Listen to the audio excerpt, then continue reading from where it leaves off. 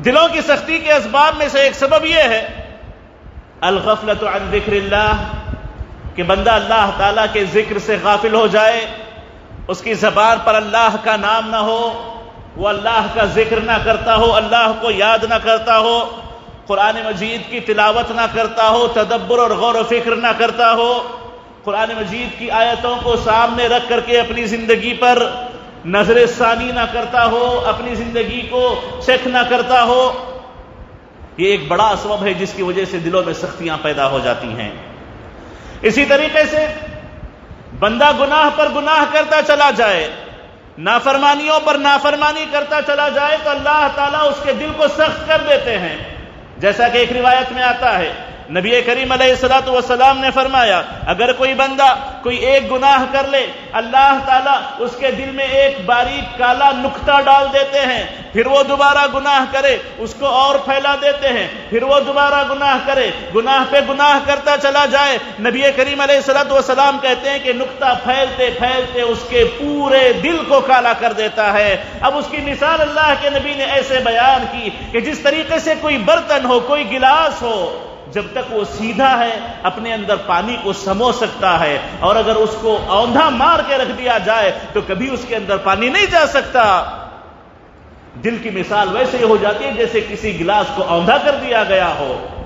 गुनाहों से दिल काला होते होते इतना काला हो जाता है कि अब कोई नसीहत कबूल करने के काबिल नहीं रह जाता। यह एक बड़ा सबब है कि गुनाह पर गुनाह बंदा करता जाए। और उसके दिल में सख्ती पैदा होती जाए, उसके दिल को गोया मुहर बंद कर दिया जाए। और मोहस हाजरीन, दिलों की सख्ती के इसबाब में से एक बड़ा सबब यह भी है कि अल्लाह ताला ने जो फ़र्ज़ उस पर किए हैं, उसमें वो कोताही करे कोताही से काम ले, फराइज में सुस्ती करे, हराम कामों का इर्तकाब करने लगे। हराम कारियाँ करने लगे। ये एक बड़ा सबब है कि जिसकी वजह से अल्लाह ताला उसके दिल में सख्ती पैदा करा देते हैं। और इसी तरीके से दिलों की सख्ती के इसबाब में से एक यह है कि बंदा दुनिया में बड़ा मशगूल हो जाए।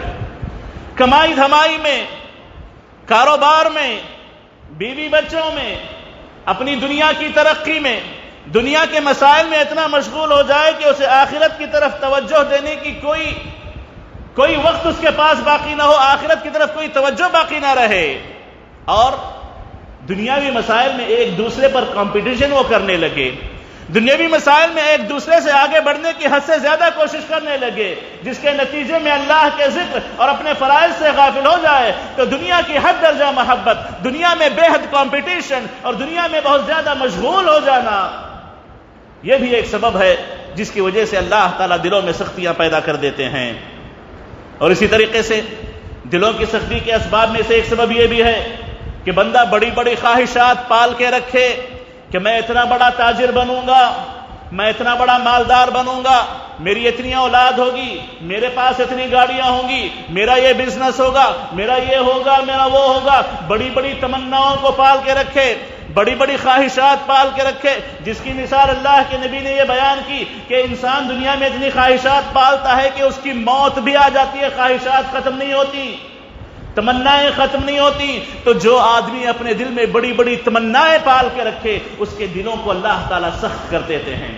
ऐसे लोगों के दिलों में सख्ती पैदा कर दी जाती है। इंसान तमन्नाएँ करे, जायज़ तमन्नाएँ करे, हद के अंदर रहते हुए तमन्नाएँ करे।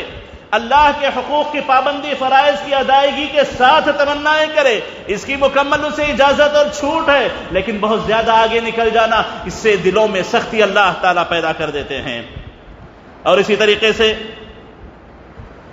एक और सबब जिससे दिलों में सख्ती पैदा होती है, कि बंदा दूसरों पर रहम करना छोड़ दे, खुद गर्ज होकर रह जाए, सिर्फ़ अपना फ़ायदा देखे, अपना नफा देखे दूसरों की हाजतों, दूसरों की जरूरतों को अपने दिल में न रखे, दूसरों पर रहम करम न करे, दूसरों के साथ उसने सलूक न करे, दूसरों के साथ नर मामला न करे, दूसरों के फ़ायदे पर हमेशा अपने फ़ायदे को तरजीह दे, सिर्फ़ अपने अपने खुद गर्जी का शिकार होकर के रह जाए। यह भी एक सबब है जिसकी वजह से अल्लाह ताला दिलों में सख्तियाँ पैदा करा देते हैं।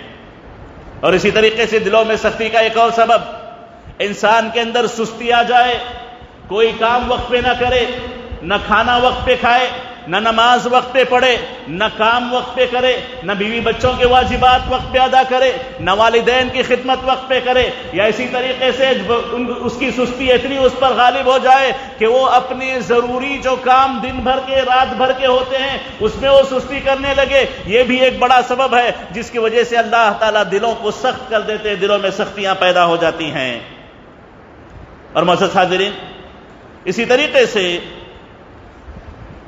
कमजोरों पर जुल्म करना, दूसरों का हक मार लेना, दूसरों पर जुल्म ज्यादती करना यह भी एक बड़ा सबब है कि जिसकी वजह से आम तौर पर दिलों में सख्तियाँ पैदा हो जाती हैं।